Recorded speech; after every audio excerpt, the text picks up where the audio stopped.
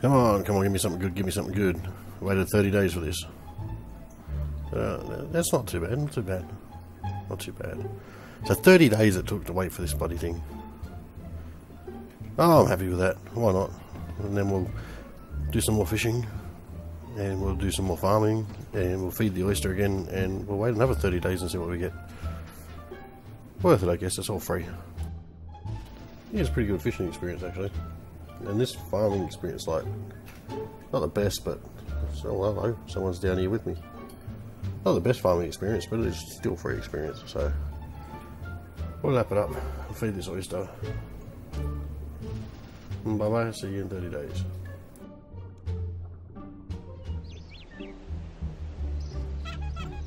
And of course, they're to get a free clue scrolls from G. Willikers. Gilly, Gilly, G. Willikers? Gilly Willikers, whatever the hell the clown's name is. The Winter Weekends free clue scrolls. Um, probably be crap because it's goes on your total level, and my total level's not that good on this account, so it'd probably just be like a level 1 clue.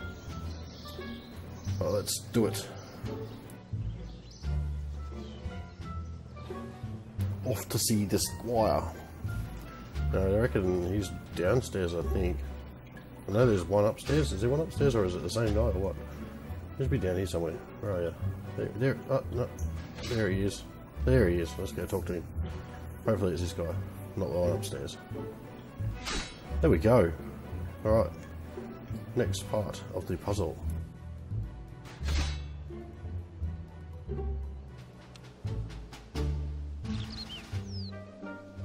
It's got to be one of these. Of course, it's going to be the last barrel that I search. Of course.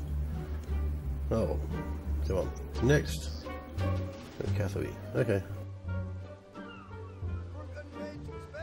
Yeah, I'm assuming it would be one of these houses. As I just ran over and checked where the shop was, and it wasn't there. So we come back this way. It should be this house here. Check these drawers. And there we go. Okay, what have we got? Okay, Port Sarim fishing shop. That's easy enough. There's a crate. Another clue scroll. Windsor casket. Uh, that's the wizard's tower, I believe. It should be somewhere around the back. I think it was against the wall. I can't remember. It's been a long time since I've done clues. A long time. I remember it being around the back near the wall, I believe. I reckon it was about here maybe a little bit out. Bit across. Somewhere here. There we go. And it's a casket too. So what do we got? Oh, wow. Yeah, no. We get a free roll. We get a free re-roll because of the winter weekend. So we're going to re-roll that. And that's just as bad. oh, wow. Absolute crap. Oh, well, you can't win them all, I guess. Well, I got some PRS anyway. Maples! Let's chop some maples for our fletching. Because I know it's really exciting shit. Boring! Boring, boring, boring. Some prayer trading on this? I thought it was AFK, but it's not. I gotta jiggle this little thing like you had to do in the quest. And if I let it go all the way to AFK, it's only 5 experience. For two ticks, I reckon it must be craft experience is alright here. Um, yeah, every time this thing goes off, that's the one. Bit bonus, bonus experience. Um, I think I mentioned that in the last video. So, moving along. As you can see in the top right, 128 crawling hands is my Slayer, Slayer experience. That's my Slayer task. My Slayer task is 128 crawling hands, so oh, we are off to do Priest in Peril because I'm not going to wait to do all 128 of those in dungeons. No thank you. So we're going to knock this quest over. We got everything we need. We got the bucket. We got the 25 PRS. So that PRS came in handy from the um, clue scroll. And we're just going to knock this quest over because it's really easy, really quick, and really simple.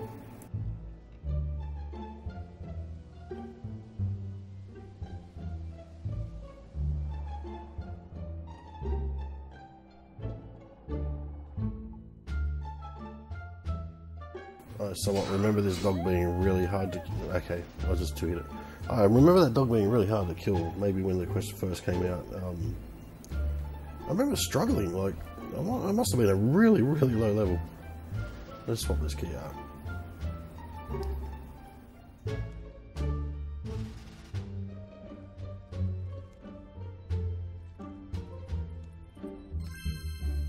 And there we go. That is done. So now we can get to Canifis.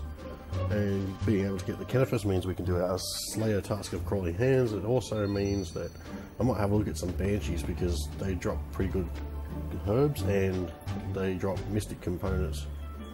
Or parts of Mystic sets, I should say, not components. I reckon it's gloves and boots, I reckon they drop. So, we'll have a play around with them. Oh, Oh. Oh, construction time. Here we go. Let's get this right.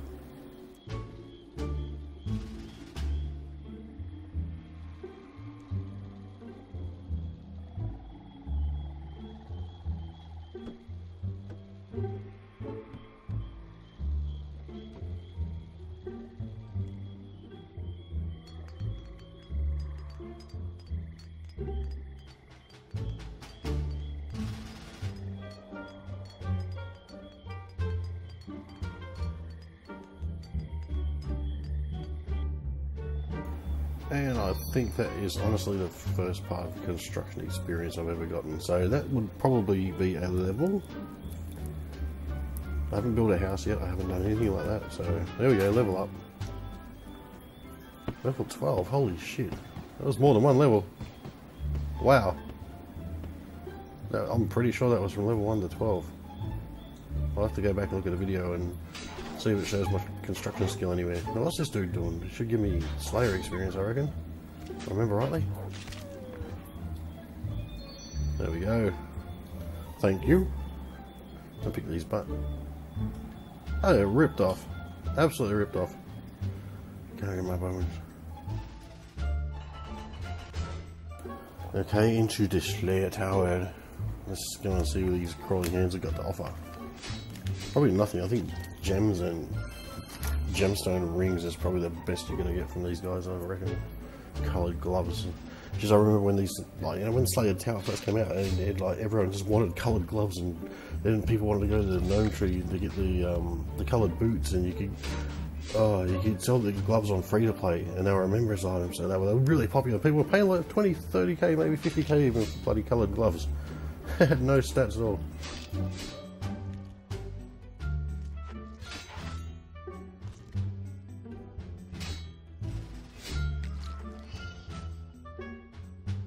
I'm gonna pick on some banshees and see if we can get some herbs, I thought. Yeah. What's that? Muzzle. Muzzling. Where was that entrance? Ah, oh, right here, trapdoor. What is this? I don't even know what this is. What the hell are these things? Ravenous. Okay. Um, are they aggressive? I don't want to run through there and find out I need like 70 Slayer or something and then they just kick my ass on the way through. Okay, back. After a bit of homework, I realise you don't need a Slayer level. And we're going to try and safe spot them and see how we go. They drop full split bark armour, which is going to be good. Um, I mean, I've got Tusker, but wouldn't be bad to have split bark as well. So we'll try these guys for some split bark, and they drop herbs, and they drop noted coal, so it's a win-win all around. And big bones. Well, I got split bark gauntlets here. I've got one or two helmets in the bank. So I'm not doing too bad. And they're dropping super attacks and super strength, so that's a bonus as well, because I can't make those yet. Congealed blood I'm not too fussed about. And the coal, they don't really drop that many coal at a time. Um, I'm getting like one and two coal.